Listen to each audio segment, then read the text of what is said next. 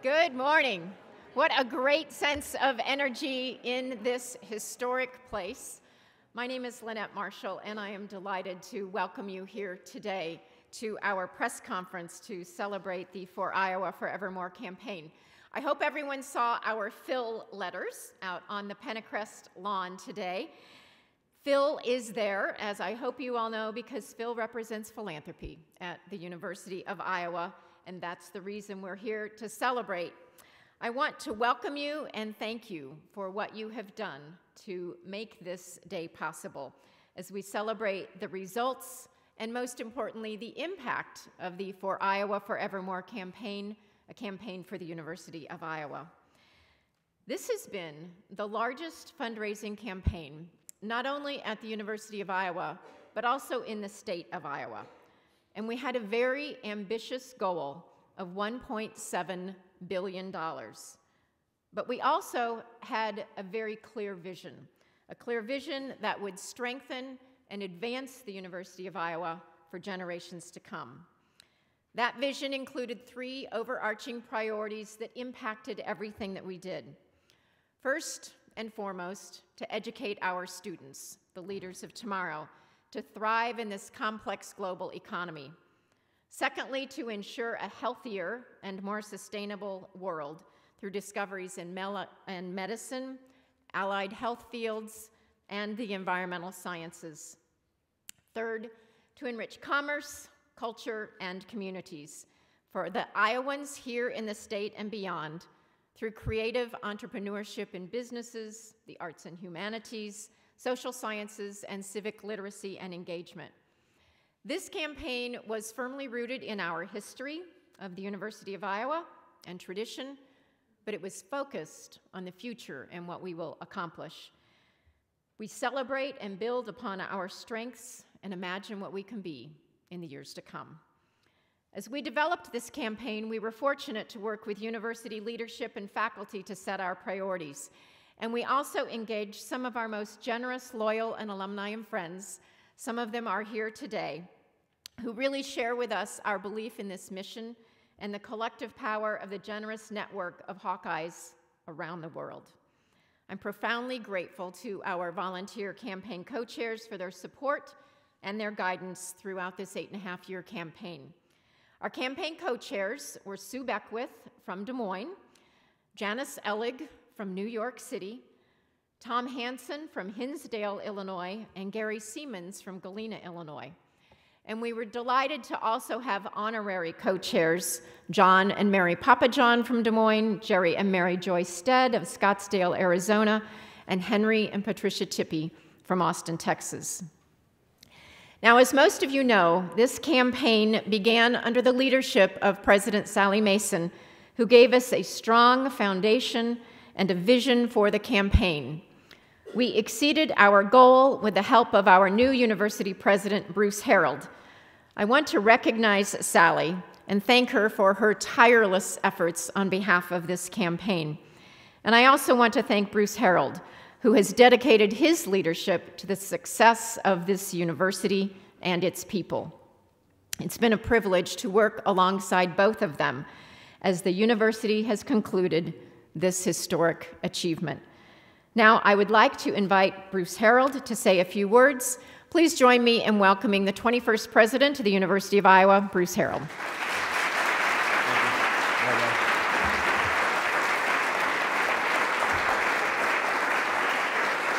Thank you. Thank you very much. This is an amazing day.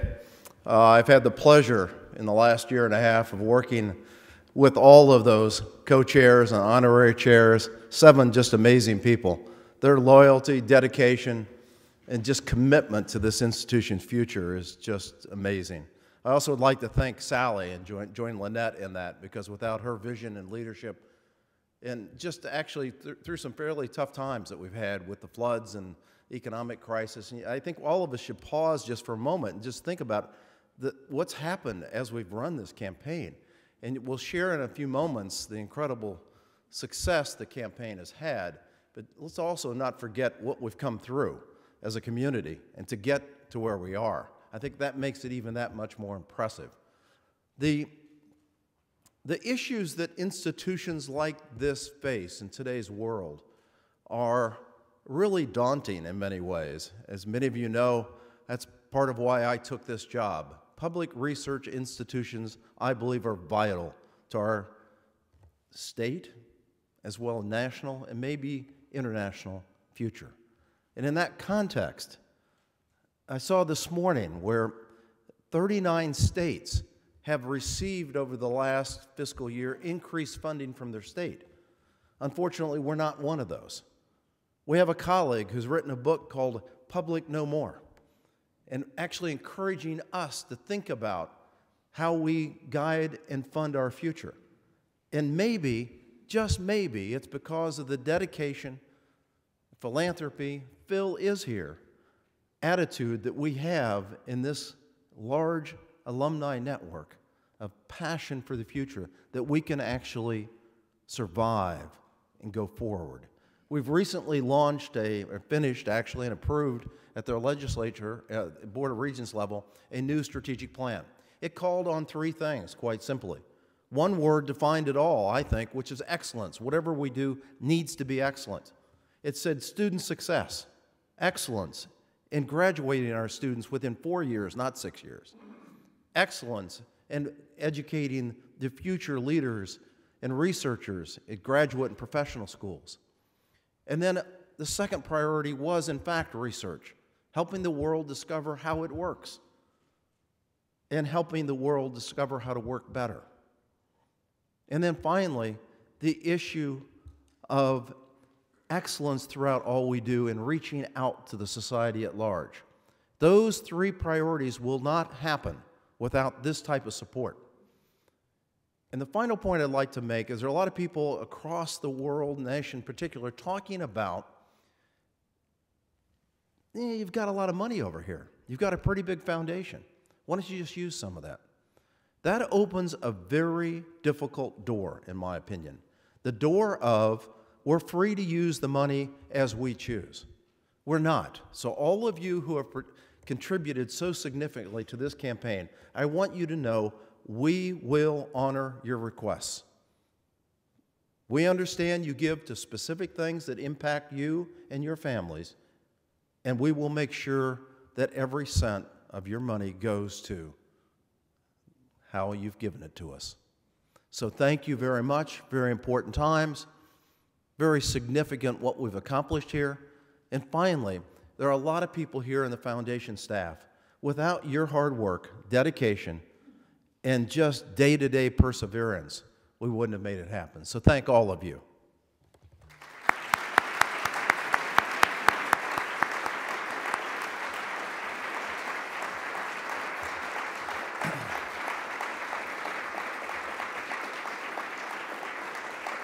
Lynette and I have been a, ham and egged it all across the, the country and even internationally. Uh, we'll do it again today. Lynette, come back up and uh, MC us. Thank you very much.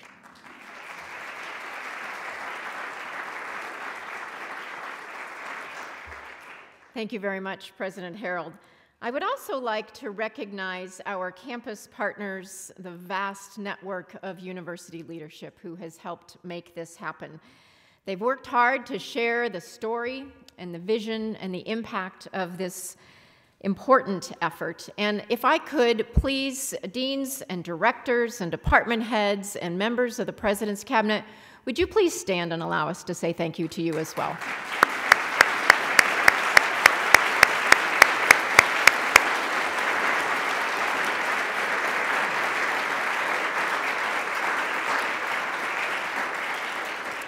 It's a privilege to work together with you and on behalf of this great university. Now, I would like to share a brief video that shows how donations to this campaign are already making a difference for students, faculty, patients, and so many others.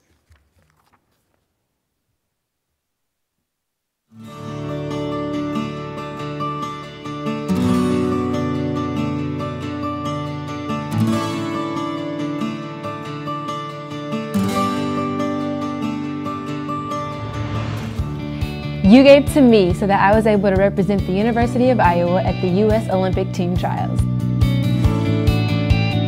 You gave to me so that I can assemble the brightest minds to attack head on the diseases that plague our society. You gave to me so that I could go to law school and effect change for those who could not do it for themselves. You gave to him by helping to create a state of the art children's hospital that is comforting and for the kids. You gave to enhancing a strong musical culture at Iowa that benefits our community and the world. You gave to her so she could have limitless opportunities as an undergrad and dream for tomorrow. You gave to me so that there is a place where my whole family can be with me when I am sick. You gave to us and provided a leg up on recruitment and bringing the country's most talented musicians to Iowa. You gave to them so they can have the resources available to focus and succeed. You gave to her, and now she's studying law at the University of Iowa College of Law. You gave to them so they can be the change leaders of tomorrow, finding cures for a healthier world. You gave to them by supporting School of Music scholarships, programs, and faculty. You gave to me. Now I'm doing my part to give back.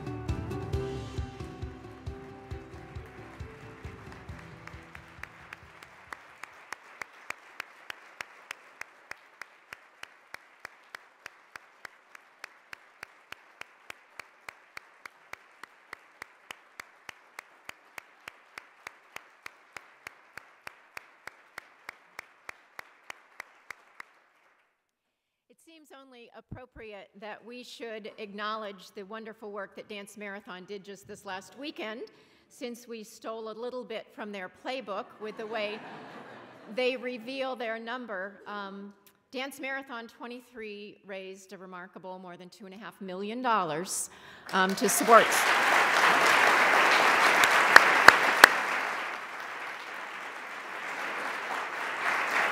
Those students do remarkable work and reflect the culture of philanthropy that we are so proud of here at the University of Iowa. So as you can see from the number, if you're doing your arithmetic quickly, we surpassed our $1.7 billion comprehensive campaign goal by nearly 16%. And we're really grateful to those who helped make that happen. A total of 272,543 individuals and organizations from all 50 states contributed to this campaign. 57% of the donors were from the state of Iowa. So it's an incredible show of support from our home state. And we also received contributions from 76 countries. Remarkable. I want to share with you some of the areas that received that support. Donors to the For Iowa Forevermore campaign contributed $312 million to support all aspects of the academic experience for our students scholarships, study abroad opportunities, service learning, internships, leadership training, and other academic experiences.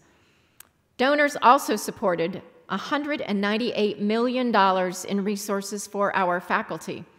Their support provides crucial resources for our talented faculty and helps keep us competitive and allows us to recruit new colleagues. These are vital resources as our faculty are responsible, of course, for teaching our students and discovering and communicating new knowledge.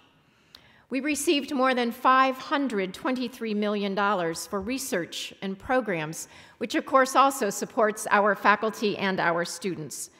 These gifts help advance research in translational medicine, literature, space exploration, informatics, and they bolster important programming efforts by the University of Iowa Libraries, by Hancher, by the University of Iowa Museum of Art, and much, much more. And finally, as we all know who have been living in this community, 13 facilities were renovated or constructed during this campaign with $209 million in support from donors. Philanthropic support helped to rebuild the facilities that we lost in the 2008 flood, including the Voxman Music Building, the Visual Arts Building, and Hancher, we're also grateful to the donors who enabled us to build the Pappajohn Biomedical Discovery Building, the University of Iowa Stead Family Children's Hospital, and build and renovate facilities for the Department of Athletics, the colleges of dentistry, pharmacy, public health, and engineering. It's important to note as well that more than 99% of the university and foundation endowment is restricted by donor-specific uses. That is, our donors direct, as the president mentioned, their gifts to special areas that mean the most to them. We pledge to continue to steward those gifts now and into the future. As you saw in the video, this campaign is already making an impact on our university and its people and that's our most important message today. We want you to now hear firsthand from those who benefit directly from the private support. Our next speaker is the Lillian C. O'Brien and Dr. C.S. O'Brien Chair in Ophthalmology and the Chairman and Head of the Department of Ophthalmology. Please welcome Dr. Keith Carter.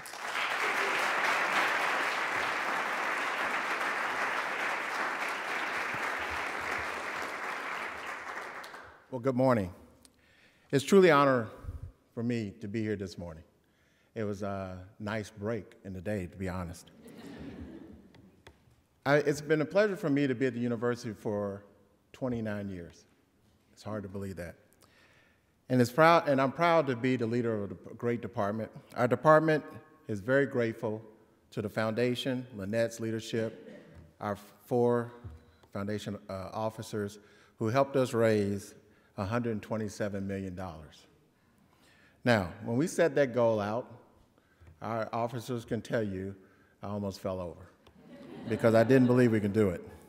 But this support will allow us to continue to work educating our medical students, our residents, and our fellows, grow our faculty, which we need, and to pursue research that will help us solve sight-threatening diseases. That's where we work. You may ask, why, why are you having this success? Well, I believe to have success, from what my donors tell, tell me, you have to have a good product. We have an excellent product. We have one of the top seven uh, ranked eye departments in the country. Yes, right here in Iowa, you have one of the top ranked eye departments in the country. You have one of the top five training programs in ophthalmology in the country, and one of the most exciting research programs in the country. That's why we're able to do it. I will speak to you about the power of philanthropy from a variety of perspectives. First, I'm a donor. I've given to my department, I've given to the university. Second, as mentioned earlier, I'm a recipient of philanthropy from the O'Brien family who started our department, and their family gave back. The, the uh, chairman, wife, and grandchildren have given back to the department in numerous ways.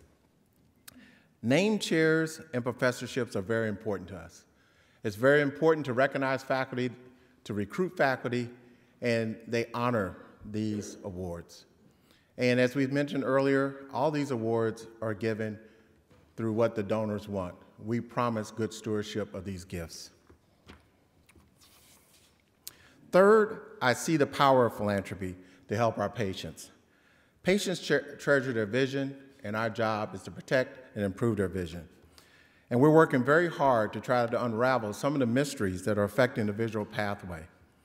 Our research arms, including the Stephen A. Wynn Institute for Vision Research, is one of few fully integrated collaborative research institutes in the country. And that's very important to recognize.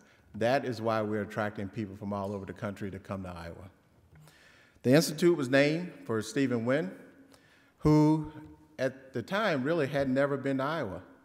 Everything was done in either Nevada or in the air or wherever. But he had never been here. But he believed in our research program to the extent he gave $25 million. The day I heard that was a moving day. But he wanted us to move our research to cure blindness in the hereditary eye disease portion of our portfolio. As physicians, we train to make people feel and see better. But it's never easy to tell a patient or the family, we do not have anything to offer you. And in these inherited eye disease, that's our situation. A lot of times we can tell you what you have, we can now tell you the chances of passing it on, but we really don't have many cures. That's where these diseases benefit for, from philanthropic donors.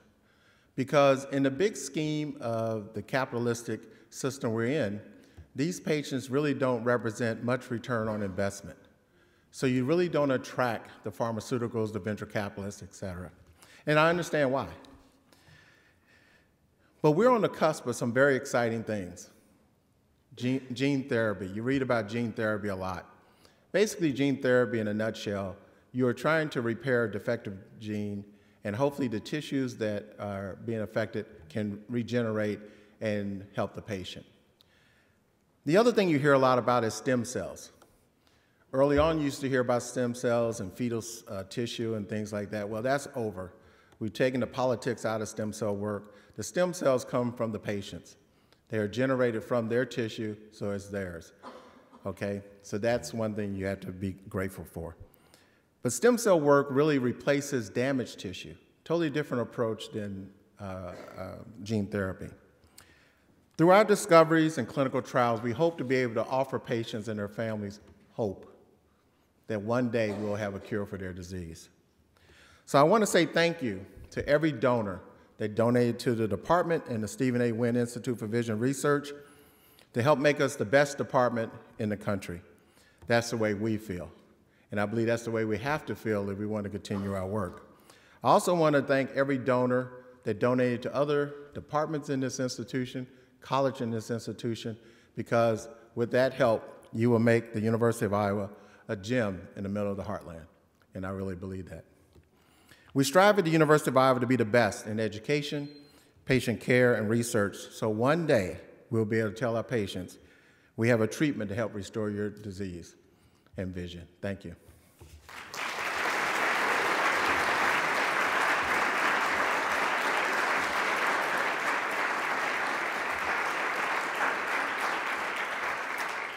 Thank you so much, Dr. Carter. Thank you for your leadership, thank you for your vision, and thank you for what your department does that benefits all of us.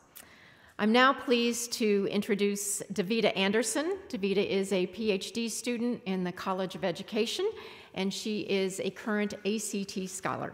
Davida?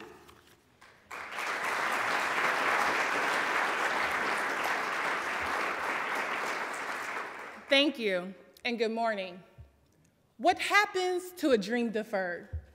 Does it dry up like a raisin in the sun, or fester like a sore and then run?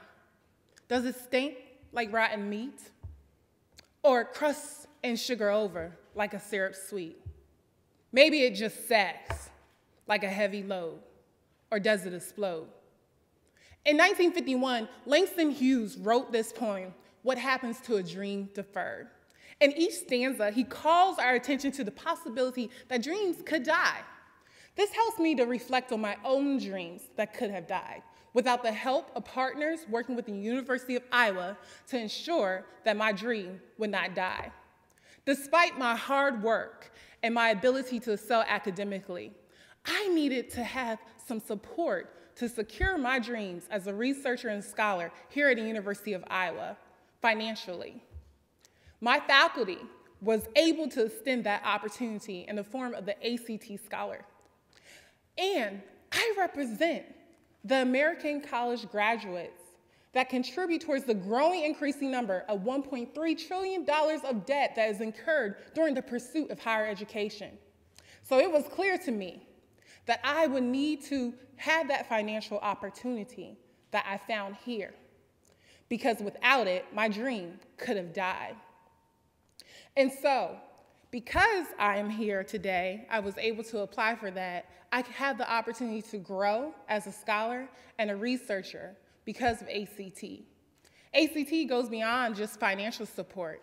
This past summer, I was able to be the Center for Equity and Learning's intern. And with that, I was able to learn about the inner workings at ACT. Here at the university, I can fully engage as a student, a scholar, to learn and work and produce research with my faculty and peers.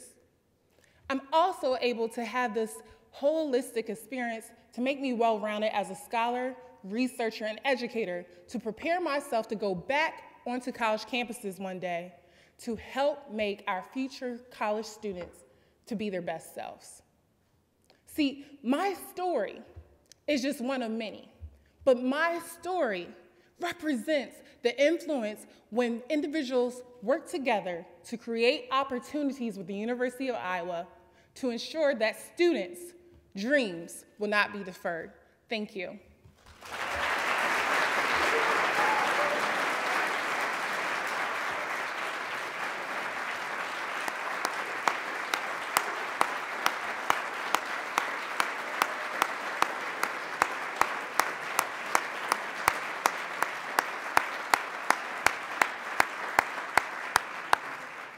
Thank you so much, Davida. I'm delighted now to introduce another student speaker. I'm um, pleased to have Jose Diaz here, who is a senior in the Tippie College of Business.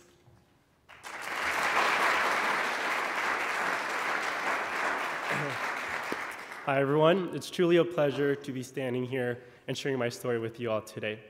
Uh, I am a Tippie College of Business uh, majoring in finance and in pursuing an international business certificate.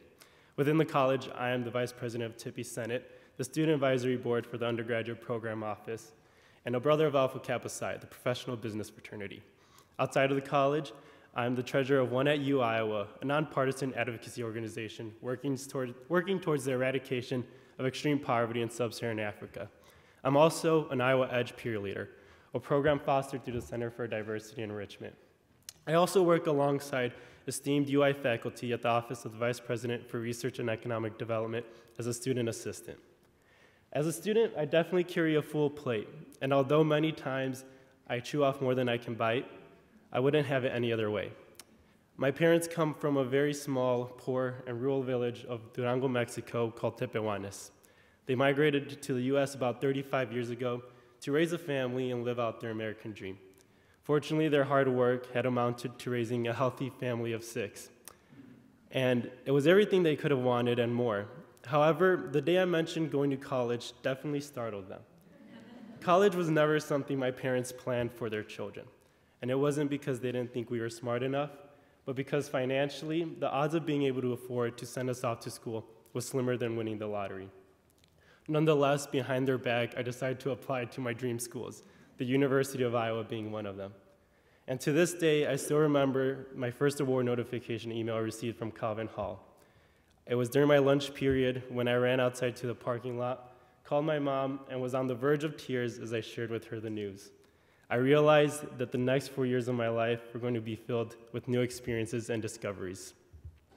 And I also later realized that it is through philanthropies like For Iowa Forevermore that allowed me the privilege to attend this great institution. Today, I can undoubtedly say Iowa has been the best choice of my life. I also received an email from the Iowa Edge upon my acceptance. I learned I qualified to be a part of a program that provides programming, orientation, and guidance for first generation and minority students. My long journey of wondering where the next chapter of my endeavors were to be had ended, and little did I know at age 18 this news would have changed the course of my life and still continues to do so every single day. Now at the UI, I've completely submerged myself in our wonderful culture and have become deeply involved with student organizations. It was at the Tippie College of Business where I began to create my lifelong relationships, study for my career, and explore my aspirations. Now, I'm in the final semester of my undergraduate career, and although it's going to be a bittersweet goodbye, I'm happy to announce that I will be joining a team in Chicago at JP Morgan Chase and Company this coming graduation.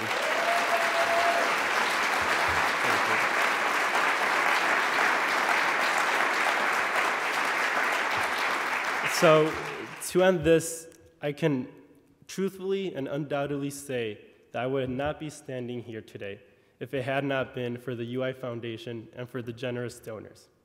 To the donors viewing and to the foundation, I'd like to say thank you. Thank you for allowing myself and countless of students across the university pursue our dreams and give the opportunity to give us a chance. I only hope that one day in the future, I can be as impactful and influential in the lives of other students like you all have been to me. Thank you.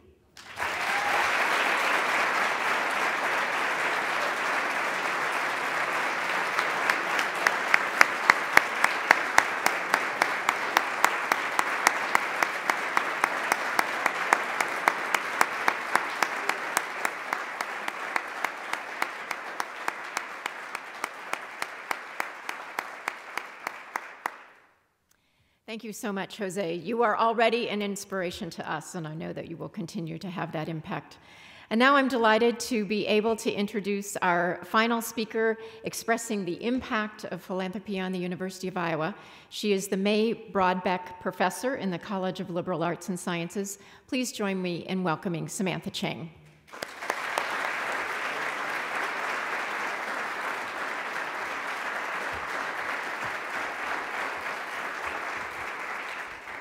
Good morning. It's an honor to be here on this wonderful occasion.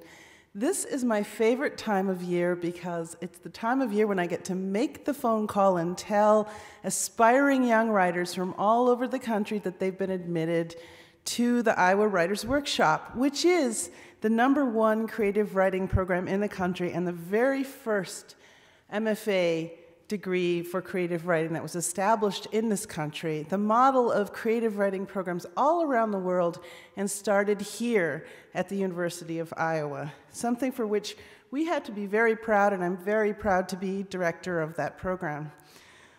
So I call the students, and sometimes they're about 21 and they're in their school cafeteria and they have dreams of being a writer and they're majoring in creative writing and i hear this great whoop on the other end of the phone and they start yelling to their friends.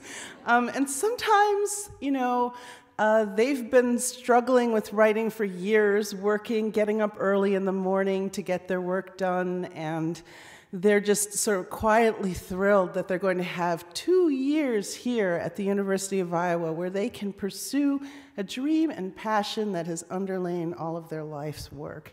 Some of them have children, some of them are, you know, uh, various ages. Uh, some of them have grown up children, but most of them are at a stage in their life where they're ready to make a big leap into the world and they give up a huge amount to come here to Iowa from all over the, the country and the world and become part of this wonderful community here in Iowa City. And I will say that the impact of private philanthropy on our program has kept us at the top of all the writing programs in the country and has continued to keep Iowa and the University of Iowa the as the sort of center in many ways of the literary world here in the United States. Um, we have had during this campaign wonderful gifts of fellowships, fellowships named after beloved faculty members who are now retiring, um, such as Marilynne Robinson. Um, fellows, fellowships named after distinguished writers and graduates of our program, such as Flannery O'Connor, and you know distinguished and like key writers um, in American literature, and fellowships named after dear friends and benefactors of our program who understand that Iowa is what people think of when they think of literature in the heartland and in this country all over the world. So these, these wonderful gifts have enabled our students, the ones that I call on the phone, to come here put their lives, you know, not exactly on hold, but to make a new center for their lives of writing and creativity and be part of our community and share with all of you eventually the wonderful books that they produce, the wonderful poems that they write. Um, as an example, our current poet laureate, Juan Felipe Herrera, is a graduate of the Iowa Writers Workshop. Um, the, their dreams come true and are able to come true because of the great gifts and because of the work of the University of Iowa Foundation, uh, for which I, as director, am deeply grateful. So, thank you to everyone who's participated in this campaign for your gifts to the workshop and to the university and to American literature, which now more than ever is deeply important. It's important that we all share our stories with each other as a country and move forward. Thank you so much.